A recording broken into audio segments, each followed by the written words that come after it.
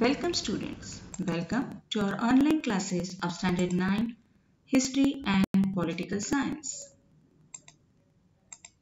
The first chapter from our syllabus is Sources of History. Before we start this chapter, I would like to tell you what is history. History is an adventure. It is a journey across time and space. It transports us into another world, another age in which people live differently. By reading history, we can understand how the modern world has emerged over long centuries of development. The study of history helps understand the past and develop an awareness of the present. The study of political science helps us to see the way forward into the future. This will also help you to lay the foundation for the competitive exams you might take in the future or for higher education in history. The first thing we are going to learn is about ancient history. The Vedic civilization is the earliest civilization in the history of ancient India. It is named after the Vedas, the early literature of the Hindu people. The Vedic civilization flourished along the river Saraswati in a region that now consists of the modern Indian states of Haryana and Punjab.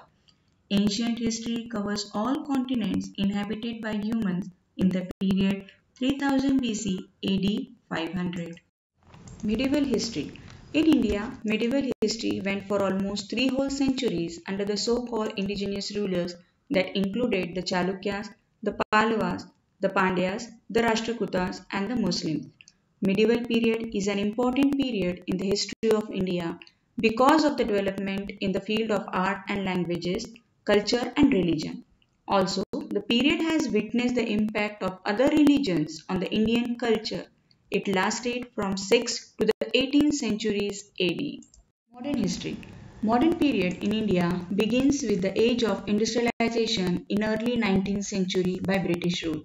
The founder of modern India, Raja Ram Mohan Roy, was known as the maker of modern India. He was the main force behind introduction of the western education and English language in India.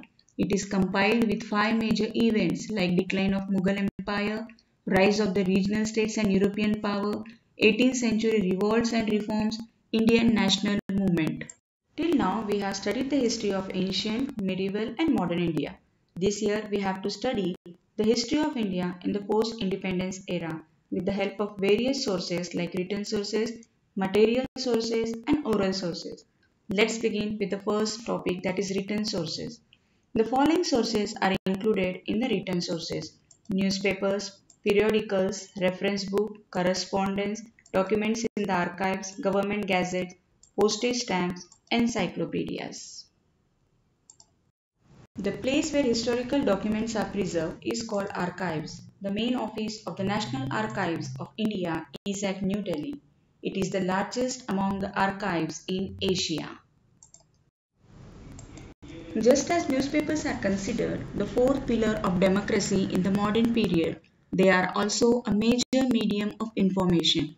If we consider the period from 1961 to 2000, we see that in the beginning there was no alternative to the print media, especially newspaper. Through newspapers, we can get information about national and international affairs, politics, art, sports, literature, and social and cultural affairs. After 1953, the Press Trust of India has been an important source of primary details of all important events and of articles on important subjects. The press was the chief instrument for carrying out the main political task. It played a strong role in building up of an increasingly strong national sentiment and consciousness among the Indian people. It is rightly said that pen is mightier than sword. Postage stamps The postage stamps don't reveal anything on their own, yet a historian makes them speak. The first stamp of independent India was issued on 21st November 1947. It depicts the Indian flag with the slogan Jai Hind on the top right hand corner. There have been several changes in postage stamps since India became independent. Postage stamps reveal a lot to us about changing times due to the variety in the sizes of the stamps, the novelty in their subjects and color schemes.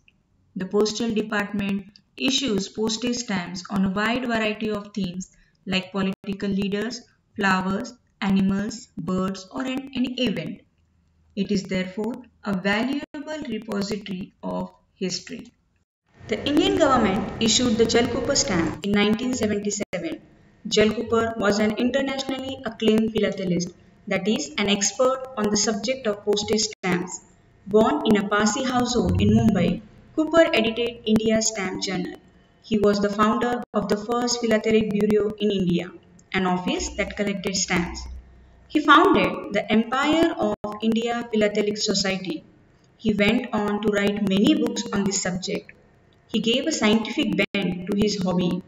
He played an important role in taking the study of Indian postage stamps to the international level.